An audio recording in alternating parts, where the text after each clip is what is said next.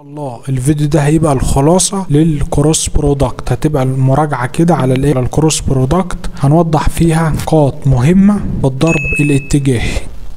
لما نيجي بقى نشوف الضرب الاتجاهي إذا افترضنا أن لدينا متجه اسمه A ومتجه ثاني اسمه B ويقعان في مستوى إيه واحد. ناتج الضرب الاتجاهي لهذه العملية اللي هي ال A cross ال B ديت تمام؟ النتيجة بتاعتهم عبارة عن متجه جديد اسمه C والمتجه الجديد اللي اسمه C ده بيبقى عمودي على المستوى الذي يقع فيه هذين المتجهين.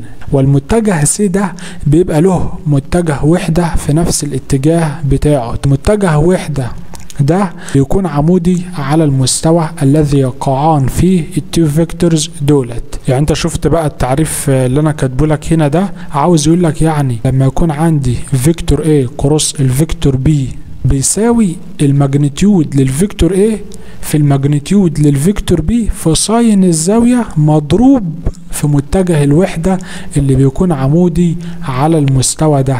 متجه الوحدة ده بيميز إن ده ضرب إيه؟ اتجاهي لأن أنت لو جيت عوض هنا من غير متجه الوحدة هتيجي عندك هتبقى إيه؟ كمية قياسية. تمام؟ لا ده هنا ضرب إيه؟ اتجاهي. اللي بيميز الضرب الاتجاهي عن الضرب القياسي إن الضرب الاتجاهي بيعطي كمية متجهة إنما الضرب القياسي بيعطي كمية إيه؟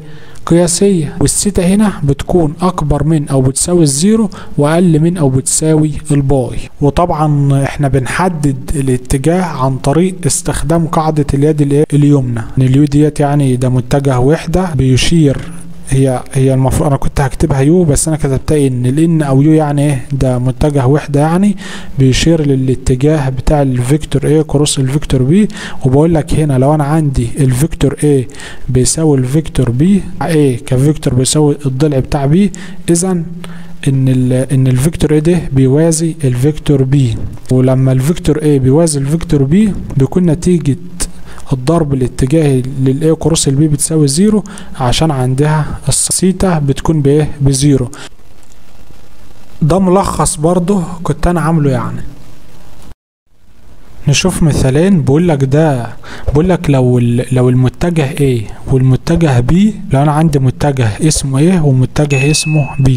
أوجد متجه الوحدة العمودي على كلا الايه المتجهين تمام؟ بدل قال لي إن إن أنا عندي متجهين وعاوز متجه الوحدة العمودي يبقى على طول يقصد إن أنا عندي متجهين يقعان في مستوى واحد تمام؟ وعمودي عمود عليهم اسمه C المتجه اللي اسمه C ده له متجه وحدة في نفس اتجاهه. فبكل بساطة وسهولة نروح نجيب ال vector A cross ال vector B النتيجة هيبقى متجه جديد اسمه C تمام؟